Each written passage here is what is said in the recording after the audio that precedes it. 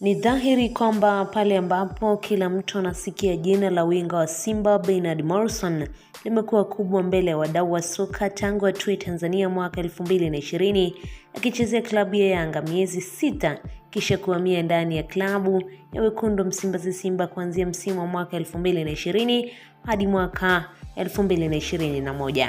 Ndani ya miezi sita aliyekuwa anaitumikia Yanga iliyomtoa Saus akiwa mchezaji huru. Umaarufu wake ulitokana na namna alivyofanya kazi ya soka kwa rahisi hadi alikuwa anapanda juu ya mpira, jambo ambalo lilikuwa linawapa raha wanajangwani.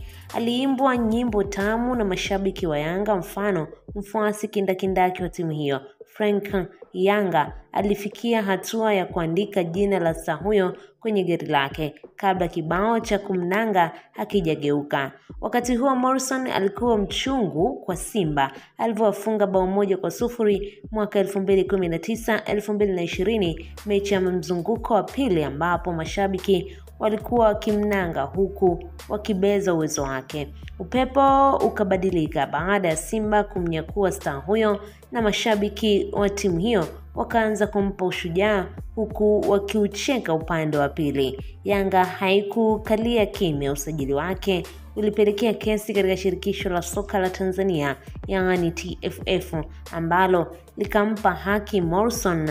Klabu hiyo ikakata rufaa mahakama ya usuluhishi ya michezo yaani CAS ambako nako kesi ikawashinda. Pamoja na mikiki mikiki iliyopita katika soka hilo linaloweza kutambulika ambalo limekuwa gumu sana kwa Bernard Morrison, lakini sisi ambapo tunachokifahamu kuhusu mambo matano ambayo Morrison amemfanya endelee kulinda heshima ya kipaji chake hapa Tanzania. Cha kwanza ni uhimili wa matatizo alihimili kishindo cha mazomeo ama kishindo cha mizozano ya mashabiki wa Yanga wakati wa kusubiri majibu ya kesi ambayo ilikuwa kasi. Hata hivyo, halikuonekana ni jambo la kumtoa kwenye mstari wa kutimiza majukumu yake ipasavyo, ingawa hakuwa anaanza kwenye kikosi cha kwanza cha kocha aliyetimuliwa ndani ya klabu ya wekundu wa Msimbazi Simba, si mwingine ni Didier Gomes da Rosa.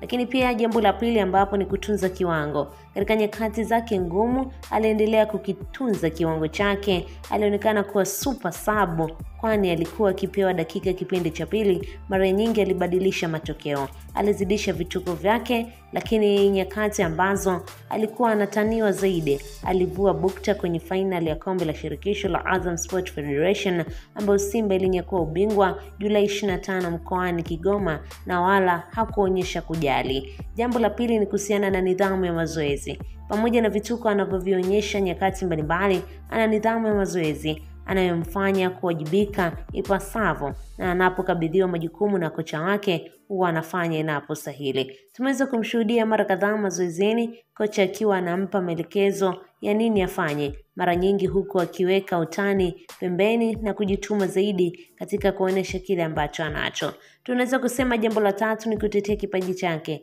Haijaashiria kudhihirika kuwa na kipaji pekee, bali anakitetea na kujituma licha ya jina lake kuwa kubwa na kupata wafuasi wanaopenda utendaji kazi wake katika michezo mbalimbali ambayo amekwisha kuicheza kama mchezaji ambaye amekuwa akionyesha kipaji chake ni kitu fasaha sana na ambacho kinampa uwezo mkubwa na uaminifu katika vilabu mbalimbali. Lakini jambo jingine tunaweza kusema ni mtazamo wake. Mtazamo wake ulionekana kuwa imara namna ya kuchukulia matatizo. Hilo lilijidhihirisha wakati wa kesi yake. Aliendeleza shughuli zake kama kawaida na baada, na baada ya kushinda alipata muda wa kuishukuru Yanga kumsajili kwa mara ya kwanza na kuacha mambo mengine kuendelea. Lakini kitu kingine ni wadau wa mpa deni. Aliyekuwa beki wa Simba Kasongo Athmana anasema ni wakati wa Morrison kuonyesha kile ambacho mashabiki walikuwa wanakitamani kukiona kutoka kwake. Morrison yule alicheza dhidi ya Red Arrows mechi ya kafu ndiye aliyekuwa anasubiriwa na mashabiki. Kesi imemfanya awe huru au imempa uhuru ana deni na wanasimba la kuwalipa kupitia mguu wake, aliweza kusema. Lakini mtaalamu wa saikolojia Charles Nduki ameweza kusema kuwa inakuwa ngumu kwa binadamu kufanya kazi asilimia mia moja endapo anakuwa na matatizo yanayomkabili. Hakuna kazi ngumu kama wanasoka wanahitaji wataalamu wa saikolojia ili kuwajenga. Mfano, Bernard Morrison licha ya kuwa au licha ya kwamba alikuwa anajitahidi kuonyesha furaha, ila asingeweza kuwajibika kwa asilimia mia moja. Aliweza kusikika akisema kutokana na kile ambacho kiliweza kumkuta BM3 katika soka la Tanzania. Ndiyo maana kwa sasa anaonekana kiwango chake kipo juu zaidi, kwa sababu akili yake inaweza kazi na yupo huru sasa. Deni limebakia kwake kuwapa huduma nzuri wana Simba ambao wanatarajia kuona mengi na mazuri kutoka kwa BM3.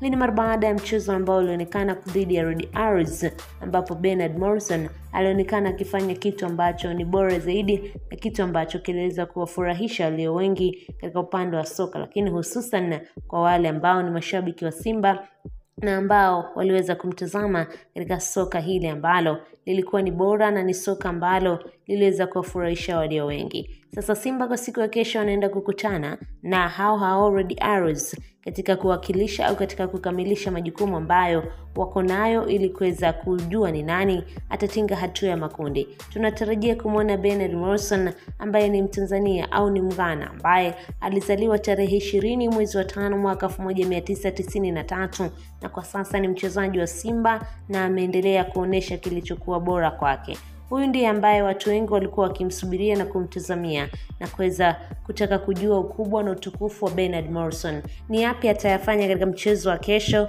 na ni yapi ambayo Pablo ameweza kumpa majukumu ya kuweza kuonesha kile kiwango ambacho aliweza kukionyesha katika mchezo uliopita. Wengi walikuwa na kuzungumza na kutafakari ni kipi Bernard Morrison anaweza kukifanya mara baada ya kesi yake kutamatika na kuweza kuisha katika yeye kuchukua nafasi nzuri au kuweza kupata alama ambayo iliweza kuweka sehemu nzuri ambayo ilikuwa ni bora zaidi. Lakini wakili msomi Bernard Morrison yuko on fire tangu aje kocha Pablo Franco amekuwa na kiwango bora sana na anacheza kwa kujiamini, anatengeneza nafasi za kufunga kwa wachezaji wengine ili kuleta matokeo ambayo ni bora zaidi. Kwa hiyo ukubwa wa Bernard Morrison unaendelea kuonekana na mara baada ya michezo au mara baada ya kutafuta mchezaji bora ambaye katika mwezi Novemba aliibuka tena Bernard Morrison. Hizi ndio sifa za Bernard Morrison katika kulisakata kabombo Ni mithili ya shilingi ambayo ina pande mbili, na ndivyo alivyo Bernard Morrison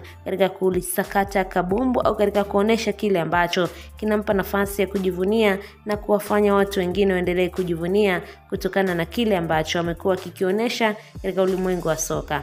Endelea kututazama na kutuangalia kwa ajili ya kuzipokea taarifa zetu mbalimbali za michezo pamoja na burudani. Usisahau kusubscribe kama bado hujafanya hivyo, lakini pia unaweza kutuandikia maoni na mtazamo wako kuhusiana na kile ambacho anakifanya Bernard Morrison. Wewe unampa asilimia ngapi na kipi afanye kuiokoa klabu ya wekundu wa Msimbazi Simba? Tutasoma maoni yako na mtazamo wako kuhusiana na hichi ambacho tunaendelea kufahamishana na kujuzana taarifa mbalimbali za kimichezo pamoja na burudani.